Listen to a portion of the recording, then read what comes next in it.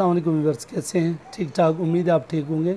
आज मैं आपको एक प्रोडक्ट के बारे में बताना चाहता हूँ, लैलिक सिरप के बारे में। लैलिक सिरप ये लेक्टोलोज है। लेक्टोलोज सिरप है और ये 120 ml में दस्तियाब है और ये जो है गेट्स फार्मास्यूटिकल कंपनी की सिरप है और इसकी प्राइस जो है दो सौ इकतीस रुपये आजकल जो मार्केट में मिल रही है। लैलिक सिरप जो है ये किस लिए होती है और ये किस मकसद के लिए इस्तेमाल होती है? तो इसके फ़ायदे क्या हैं, इसके नुकसान क्या हैं, ये मैं आपको अभी इसके बारे में बताता हूँ लैलिक सिरप जो थी अक्सर लोग होते हैं जिनके पेट में सख्त मरोड़ होता है। गैस की वजह से उनकी पेट में पेट जो पेट होता है उनमें कब्ज़ होता है, कब्ज़ की शिकायत होती है या या उनका पखाना जो बहुत ज़्यादा सख्त होता है जिसकी वजह से उनको आसानी से जो होता है वो पखाना आता नहीं है और वो बहुत तकलीफ़ होती है उनको पखाना करने में।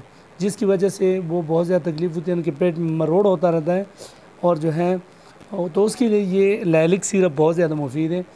और अक्सर बच्चे भी ऐसे होते हैं जिनको तकलीफ़ होती है पेट में और पेट में मरोड़ हो रहा होता है तो उनको पखाने में बड़ी तकलीफ़ होती है और उनको बहुत ज़्यादा तकलीफ़ की शदत में वो बच्चे रो रहे होते हैं।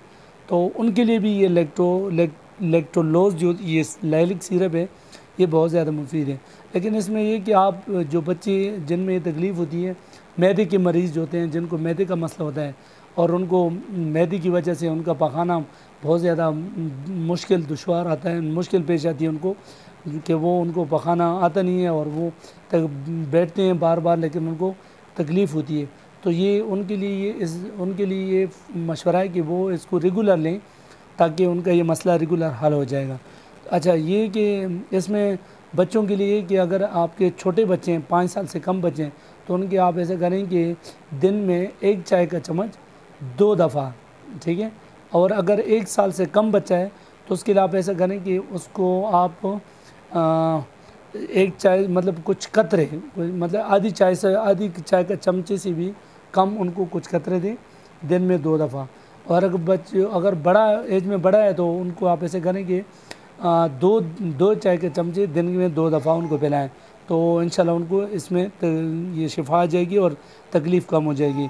दूसरा है कि ये ये लाइलिक सिरप जो है ये इसको आप ऐसा कर सकते हैं कि ये रेगुलर उसमें इस्तेमाल होती है, ठीक है, रेगुलर। और उसमें इसका एक नुकसान ये होता है, साइड इफ़ेक्ट इसको ये भी कह सकते हैं कि उसको दस भी आ सकते हैं, क्योंकि बार बार ये लाइट, ये जो लाइलिक यूज़ करते हैं तो इससे जो होता है वो पेशाब खुल जाता है, जिसकी वजह से उसको वो भी आएगा दस भी आ सकते हैं। तो ये इसका, अगर किसी बंदे को, अगर बंदा एक रेगुलर इसको यूज़ कर रहे हैं, अगर उसको दस आ रहे हैं तो काइंडली आप ऐसा करें कि इसको फिर बंद कर दें।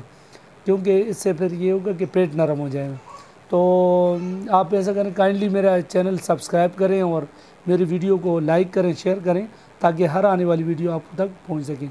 असल